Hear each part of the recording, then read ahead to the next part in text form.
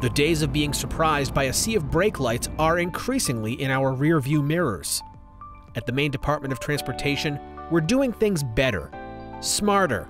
An informed traveling public is a happier traveling public. Maine DOT is embracing ITS, Intelligent Transportation Systems. Our new Transportation Management Center in Augusta, the TMC, is the Nerve Center.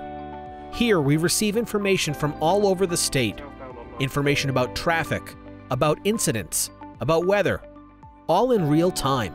It just allows us to react to things quicker rather than having to wait for the public to let us know that, that something is wrong out there. The TMC gets data from both our roadside sensors and personal devices like cell phones. It's all anonymous data. We can't tell who you are. We just know that that somebody's been someplace along the route. This new approach helps mitigate congestion. It prevents drivers from sitting in traffic, wasting time and burning fuel. Well informed drivers make better decisions. You've probably noticed our travel time signs and posted emergency detour routes, and you've certainly seen some of our safety messages.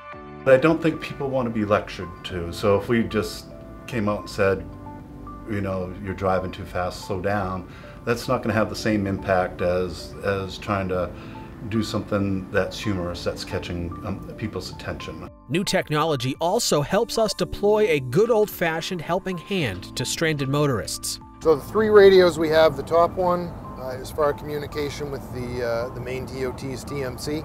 Maine DOT's Safety Service Patrol travels up and down I-295. The two biggest issues that we run into in terms of disabled vehicles, probably 90% of the time is going to be a flat tire or fuel stall. People just do not want to admit that they've run out of fuel. This is a free service, and the patrol vehicle can be a very welcome sight. The majority of folks are absolutely thrilled that you stopped to help them. The safety features on the patrol vehicle help prevent more crashes. Statistically, secondary accidents are far more deadly than primary accidents, and anything you can do to eliminate those uh, is a major benefit to our highways. This flat stall is back underway.